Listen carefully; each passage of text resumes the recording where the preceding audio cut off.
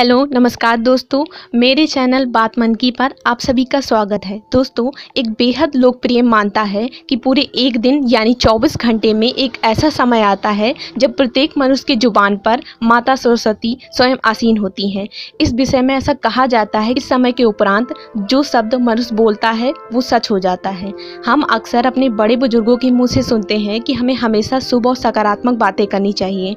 बड़े बुज़ुर्ग कहते हैं कि किसी भी मनुष्य को शब्द और नकारात्मक बातें नहीं करनी चाहिए, क्योंकि क्या पता उस समय उनके मुँह पर माँ सरस्वती विराजमान हो और वह नकारात्मक बात सच हो जाए। तो सच में क्या ऐसा होता है? यदि होता है तो किस समय माता सरस्वती हमारी ज़ुबान पर आसीन होती हैं? दोस्तों, यह कोरी कल्पना नहीं, बल्कि प्रमाणिक सत्य है। किसी के बारे में कभी ना तो बुरा बोलें और ना सोचें, माँ सरस्वती कब जीप पर आ जाए, कुछ कहा नहीं जा सकता है। तो दोस्तों, अब जान लेते हैं कि 24 घंटे का वो समय जिस वक्त माँ सरस्वती हमारी ज़ुबान पर आती हैं।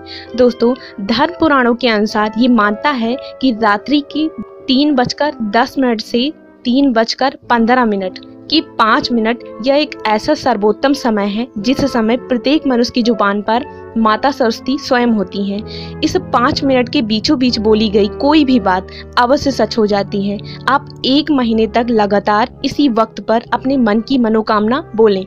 देखना, माँ सरस्वती आपकी हर इच्छा सच में पूरी कर देंगी। दोस्तों, माँ सरस्वती विद्या, बुद्धि, ज्ञान व विवेक की अधिष्ठात्री देवी है। इस अंधकार में जीवन से इंसान को सही राह पर ले जाने का सारा बीड़ा माँ सरस्वती के कंधों पर है।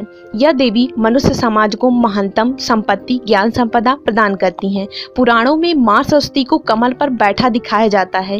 कीचड़ में खिलने वाले कमल को कीचड़ स्पर्श नहीं कर पाता, इसलिए कमल पर विराजमान माँ सरस्वती हमें यह संदेश देना चाहती हैं कि हमें चाहे कितने ही दूषित वातावरण में रहना पड़े, परंतु हमें खुद को इस तरह बनाकर रखना चाहिए कि बुराई हम पर प्रभाव न डाल सके।